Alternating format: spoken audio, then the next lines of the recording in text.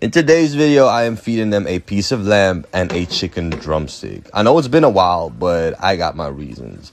Now you will see that they quickly go after the lamb, even though the chicken drumstick was put in right after. They weren't even afraid of coming close because they sensed blood.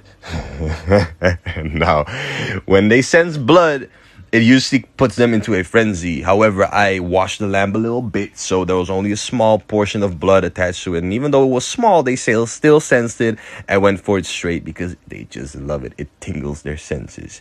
Now, when they finished the lamb, they went straight after the chicken drumstick, which has been devoured within like 15 seconds and they left nothing. At the end of the video, you will see the bone that is left, and I can assure you that it has been cleaned to the fullest.